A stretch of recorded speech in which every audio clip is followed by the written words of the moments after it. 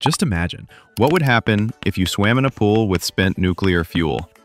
At first glance, nothing terrible. Water provides excellent protection from radiation. Every 7 centimeters of water between you and a radioactive fuel rod cuts the radiation in half. So if you swim near the surface, you'll actually receive less radiation than outside.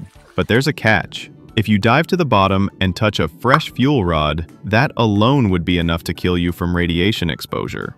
In 2010, in Switzerland, a nuclear diver found a piece of hose at the bottom of the pool and picked it up. It turned out to be a fragment of a reactor cladding, extremely radioactive. All the alarms went off, and only thanks to the water did he survive. Only his hand received a strong dose. So technically, you could swim in such a pool. In fact, qualified specialists at nuclear facilities sometimes do, but if you touch the wrong thing, the consequences could be fatal. And in fact, when one reactor worker was asked what would happen to a person who tried to swim in such a pool, he answered, he'd die before he even reached the water. The security guards would shoot him.